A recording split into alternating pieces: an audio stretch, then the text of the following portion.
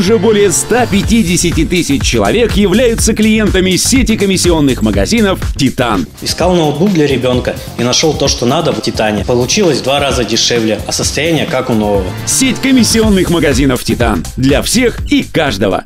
Апаринского гонщика на BMW X5 задержали сотрудники ДПС совместно с активистами ночного патруля в районе биохимзавода. Впрочем, после пьяных гонок молодой человек переживал не по поводу своего возможного наказания.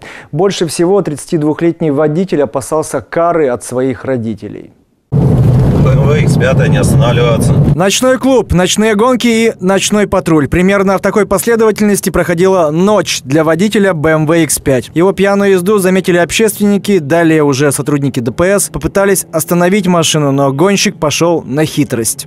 BMW останавливаемся.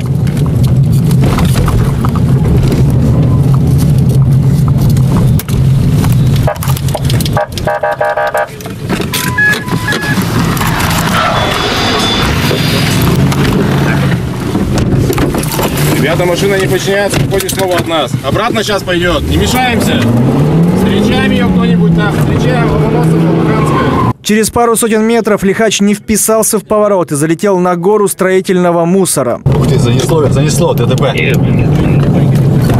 Тихонько, тихонько, тихонько. Сейчас пойдем.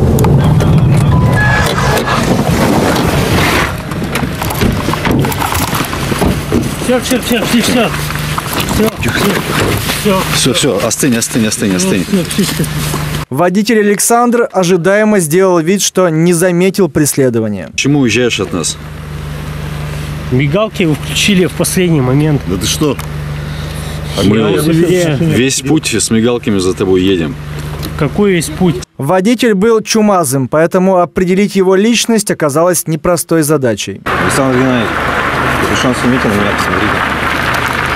Капюшон снимите. Можно? Снимайте капюшон. Вашу личность нужно устанавливать. По словам Александра, он из Апарина в Кирове решил немного потанцевать в ночном клубе. Правоуправление ранее, раньше решались? Нет, Александр Геннадьевич. Нет, никак нет. Первый раз. Первый раз. И сели первый раз за руль в таком состоянии. Первый раз. Или было? Первый раз.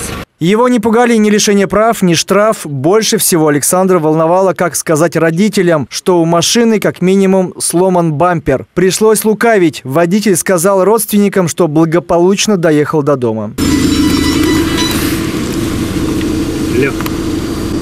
Да, поставил. Дома.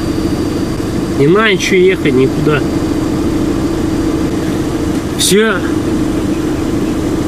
Я все поставил в машину. Так как у водителя имелись признаки опьянения, инспекторам пришлось вызвать эвакуатор. Чистимееве. До свидания, ребята.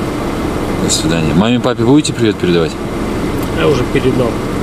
Ну, вы сказали неправду, что машина стоит у дома. Ой, ребята.